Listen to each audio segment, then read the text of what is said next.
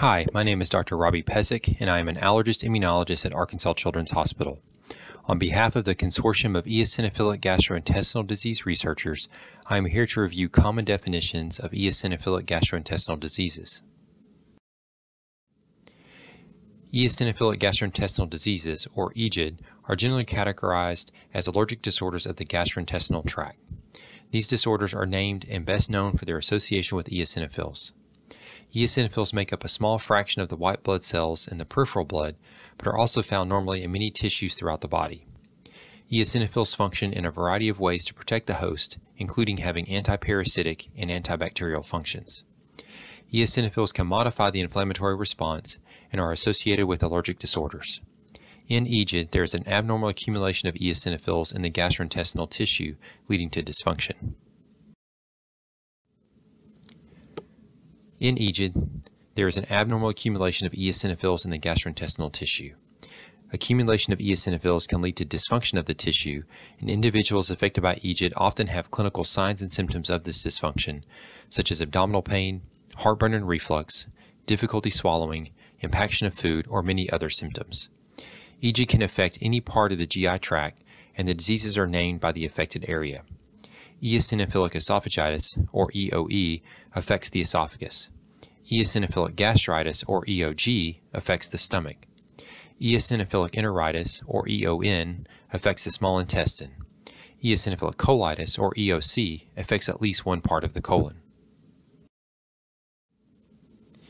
EGIDs were first recognized as a disease in the 1970s. Since then, there has been increased recognition of these disorders across medicine. In addition, over the past decade, there has been a significant increase in the incidence and prevalence of all EGIDs, far surpassing the rate expected just from increased recognition. Despite this, EGIDs are still considered rare diseases, which can make research difficult. Research of rare diseases requires strong collaborative efforts between multiple stakeholders to advance our understanding of them. There are a variety of factors that highlight the importance of EGID research. Individuals affected by EGIDs have potential significant long-term complications, impact on day-to-day life, and barriers to care. In a study by the American Partnership for Eosinophilic Disorders, or APFED, in 2011, over 30% of patients had to travel more than 100 miles from their home to receive specialty treatment for EGIDs. More than 30% of patients and families reported a significant impact on finances, marriage, school performance, and their jobs due to EGIDs. Until recently, there has been no FDA approved medications for EGIDs. Thus, many individuals with EGID are burdened with additional healthcare costs for medications or for formulas. Affected individuals may have decreased quality of life and increased risk of depression. In addition, there is still significant work needed to understand how the diseases work and how we can intervene to improve health. The molecular pathogenesis of many of these disorders is poorly understood. Furthermore, EGIDs can often overlap, highlighting their relatedness and the need to identify better diagnostic and prognostic markers.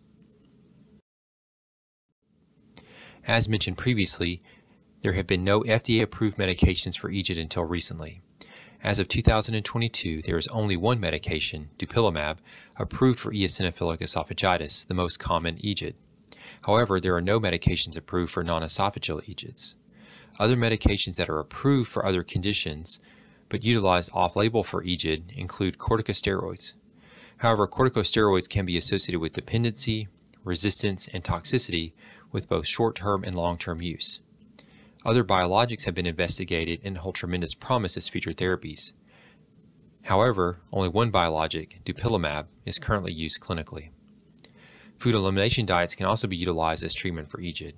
However, most of the evidence to date is limited to eosinophilic esophagitis, and it is unclear whether these diets will be effective in non-esophageal EGID.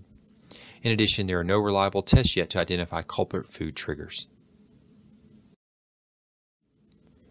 Gaining a better understanding of these rare eosinophilic diseases may contribute to our understanding of high eosinophil levels in more common diseases such as asthma. Recognizing the importance of this work, the National Institutes of Health have partnered with investigators across the United States and Europe to advance research of EGIDs.